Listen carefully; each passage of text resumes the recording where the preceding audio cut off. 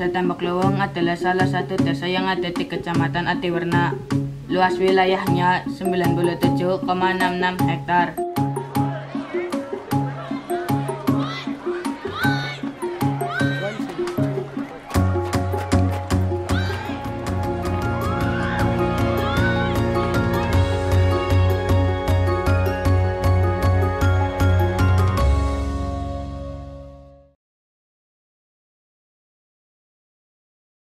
pan balik nginung men. Ih balik. Pan dodi balik curang temen si kawan. Perpenyeng lo. Oh, Tuh mencret mencret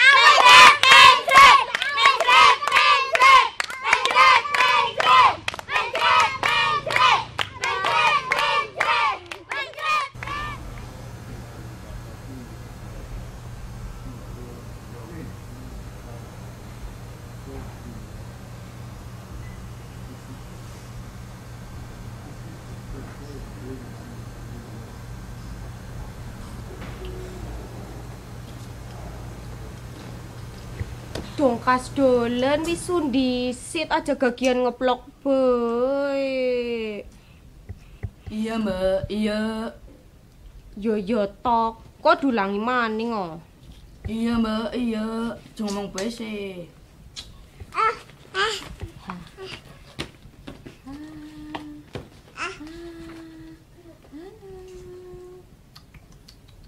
Mbak, yang mana peri PS? Wario. Kenapa PR? rek? Kongkon observasi sing kaitane karo desa desane dewek, Mbak.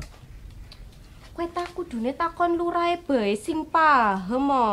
Tolin kon gawe daftar pertanyaan. Dadine ora pelang-peleng oh ditakoni lurahe.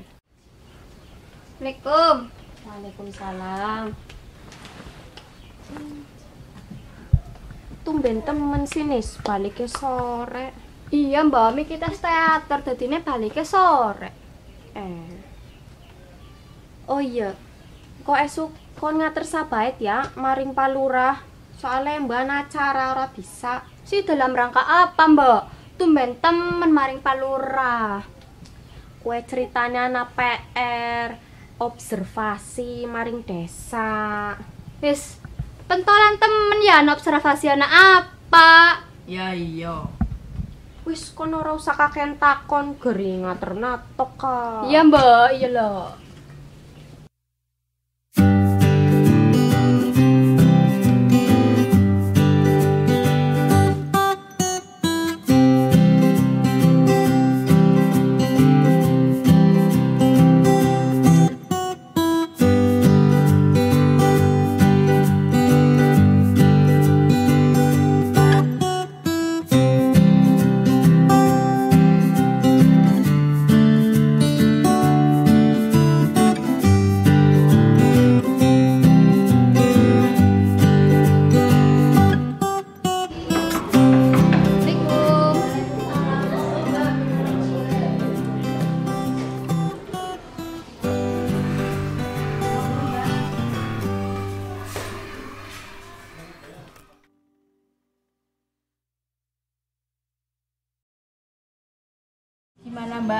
Bisa saya bantu? Ya mohon maaf bu, ini adik saya ingin bertemu dengan Pak Lurah. Hmm. Ada tugas dari sekolah, ingin bertanya-tanya mengenai desa Tembok Luwung. Apakah boleh bu? Oh nggih. Sebentar nggih saya matur Pak Lurah. Iya.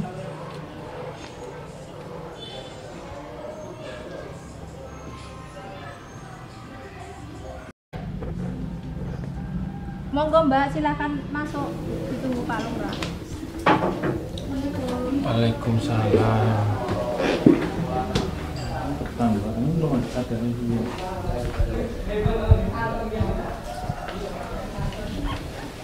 Gimana mbak? Maaf pak, ini saya nganterin adik saya ada tugas dari sekolah. Ini desa Tembok Luwung. Boleh ya pak? Boleh. Mau tanya apa dek? Sebentar pak, rekam dulu deh. Berapa luas wilayah dan jumlah penduduk desa Tembak Luwung? Tembok Luwung sekitar 100 hektar. Tepatnya sih 97,66 hektar. Kalau jumlah penduduk hampir 10.000. Tepatnya 9.500-an lah. saya agak lupa tapi sekitarnya 1500 apalagi Yang, yang kedua, pelayanan apa saja yang dapat ditangani di pemerintahan Desa Luwung? Ya banyak ada KTP terus pelayanan kesehatan ada posyandu ada pos bindu terus pelayanan surat menyurat ada kakak kartu keluarga terus ya banyak lah. Iya tentang kependudukan. Yang ketiga, Pak, apa keunggulan atau potensi desa yang menjadi ciri khas Desa Tembok Luwung? tembok luwung tuh banyak home industri Industri. Iya. Dari dulu sih di home industri mulai dari konveksi, terus ada logam, terus juga ada apa makanan ringan. Eh, kalau mbaknya pengen tahu ya datang aja ke mereka. Iya, Pak. Udah gitu ya, aja. Pak. Iya, oh ya, suwun. ya. Ya,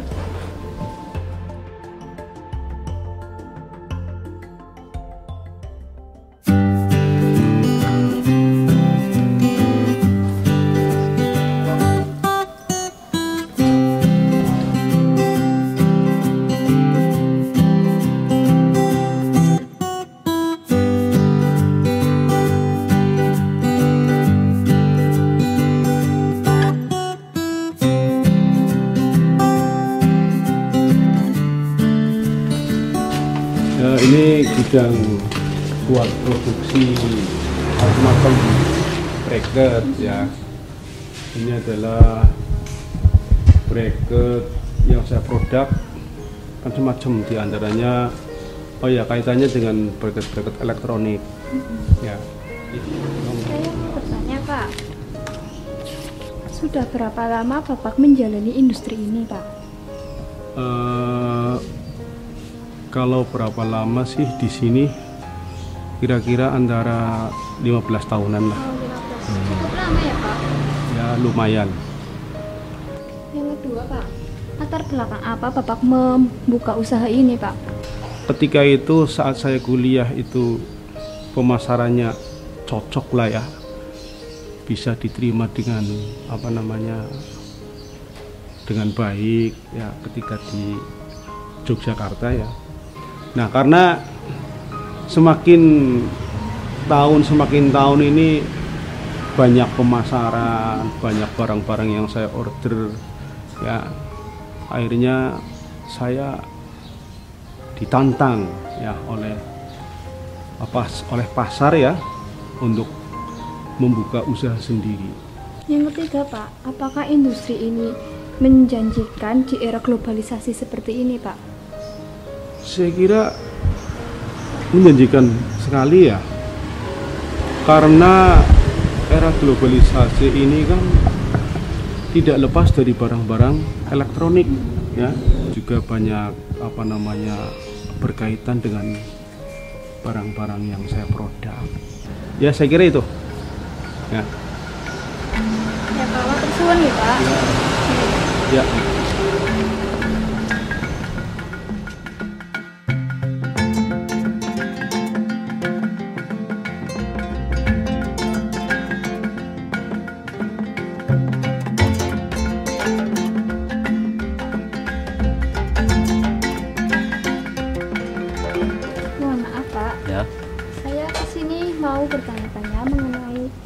limbah plastik dari desa Tembok Luwung. Ya. Saya izin bertanya ya, Pak. Sudah berapa Bapak menjalankan industri plastik ini, Pak? Eh, kurang lebih 19 tahun. Ya. Didirikan tahun berapa, Pak? Tahun 1999. Ya. Bagaimana Bapak bisa berpikiran membuka industri plastik ini di era pasar bebas ini, Pak? Eh, pertama adalah eh, dengan adanya kenaikan logam maupun bahan kuningan, sehingga untuk pembuatan kos barang itu kan mahal.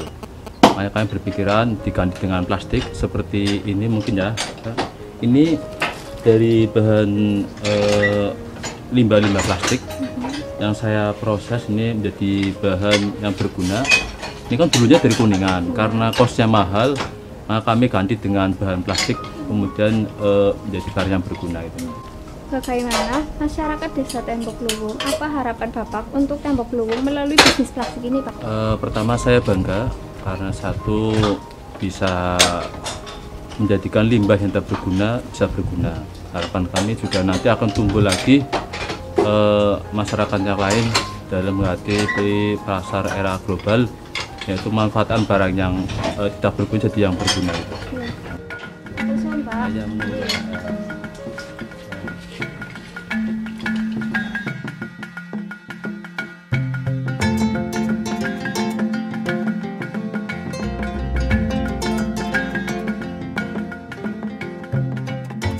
Maaf mengganggu waktu Bapak. Saya izin bertanya mengenai industri ini, Pak. Sudah berapa lama Bapak menjalani bisnis ini, Pak? Oke, kalau menempati tempat ini kita sudah mulai dari tahun 2001 sampai sekarang. Saya tadi 18 tahun ya, Pak. Ya 17-18 lah ya. ya. Bidang usaha apa yang Bapak kembangkan? Ya basicnya adalah pada pekerjaan logam, produksi kami itu untuk disuplai ke alat-alat berat ke United Tractor, terus komponen untuk Polytron, dan juga ada juga komponen untuk eh, tangki angin. Dan juga ada beberapa kerjaan aksesoris eh, untuk talang juga kita produksi. Sebagai masyarakat desa Tembok Luwung, apa harapan Bapak untuk Tembok Luwung melalui bisnis ini, Pak? Saya berharap dari bisnis ini juga ada efek besar untuk nama besar Tembok Luwung. Jadi ternyata ada perusahaan di tempat Tembok Luwung itu yang memproduksi eh, skala nasional dari United Tractor kita tahu sendiri untuk produksi alat berat dan Polytron kita tahu sendiri untuk audio, TV dan juga kulkas. Ya kita sudah membuat beberapa komponen untuk Polytron. Terima kasih, Pak, atas infonya. Terima kasih. Misi Ya, sip.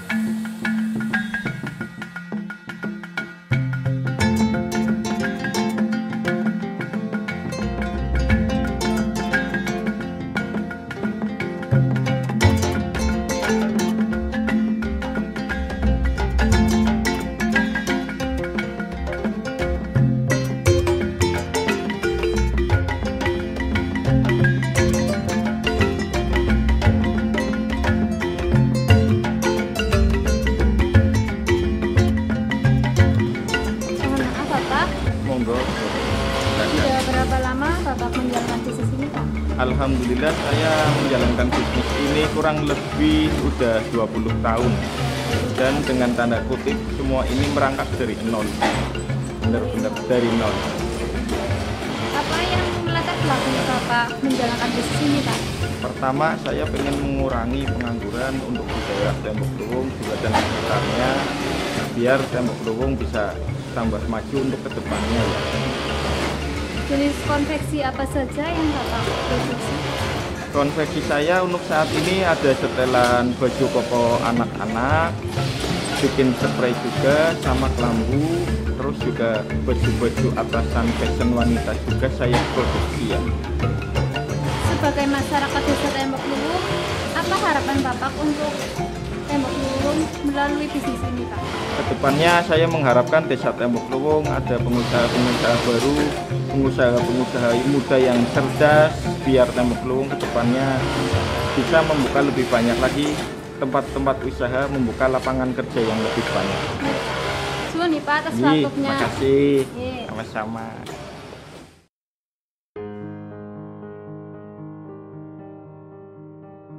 Yamba hasil observasi nanyang Karambanisa. Resum, Desa Tembok Lewong adalah salah satu desa yang ada di Kecamatan Atiwarna.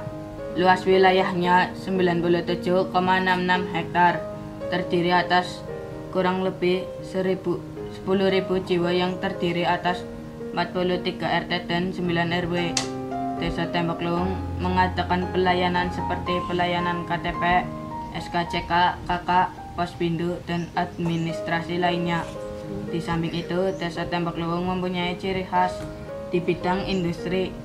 Ada industri logam, pengolahan plastik, industri konveksi, dan lain-lain. Yang lebih utama warganya saling bergotong royong, guyup rukun. Jebule desa Tembok Luwung luar biasa ya.